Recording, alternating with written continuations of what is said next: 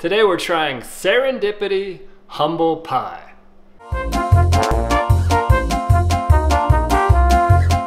Welcome back to Ice Cream Meltdown. This is Marc, and I got a special request from one of our subscribers to try Serendipity brands, and I heard that the Humble Pie and the birthday cake were awesome, so that's what we're gonna try.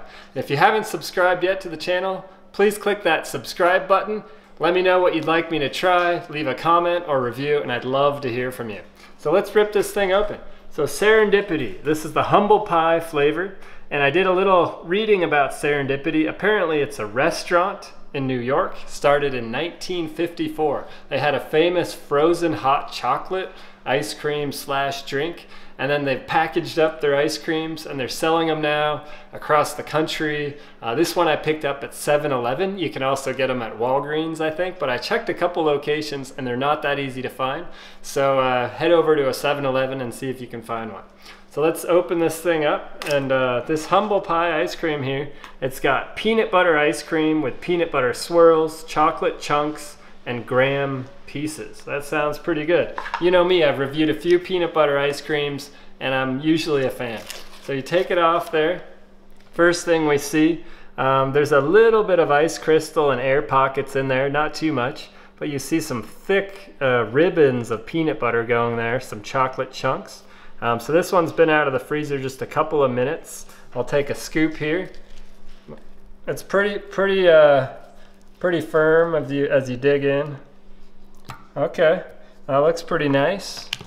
So let's get a first impression bite. You can see there, it's got some ribbon of uh, peanut butter in there. There's some graham cracker apparently. We'll take a little bite there. Hmm.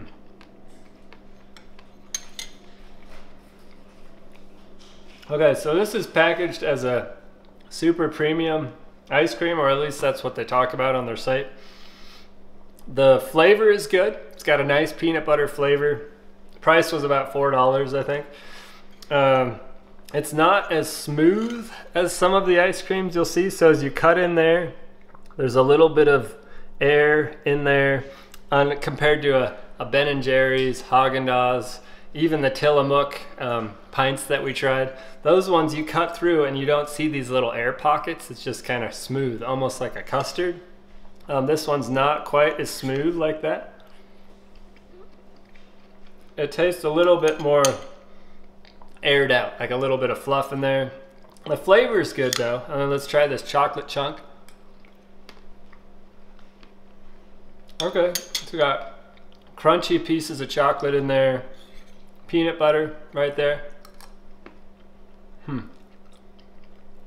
I mean, compared to that Tillamook peanut butter I tried. This one's not quite as good. That one was just so smooth and thick.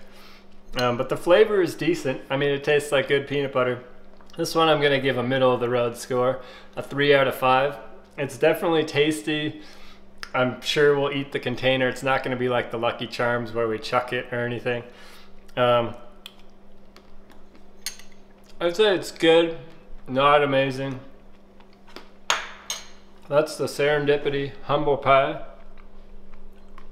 I appreciate the recommendation though. I'd never tried this before. I'll definitely go to the restaurant if I'm in New York. Um, it's a good ice cream. Nothing wrong with it. It just didn't blow me away like some of the others. And if you look at the list of ingredients on the back here, it's pretty extensive. I mean, there's a big list of there, and some of the things I look for when I'm looking in the ingredients are there fillers like locust bean gum, guar gum, carrageenan. So when I see a few of those on there, it's okay if there's maybe one to add a little bit of thickness, but it feels like when you put a few of those, you're getting less of the pure cream. Even the first ingredient here is skim milk and then cream. Some of the others start with cream and then go the other way. So that was Serendipity. I'll give it a three out of five. This is Marc from Ice Cream Meltdown. Please subscribe if you haven't already. I'd love to hear from you what else you'd like me to try. This was the Humble Pie. Have a great day and we'll see you again soon.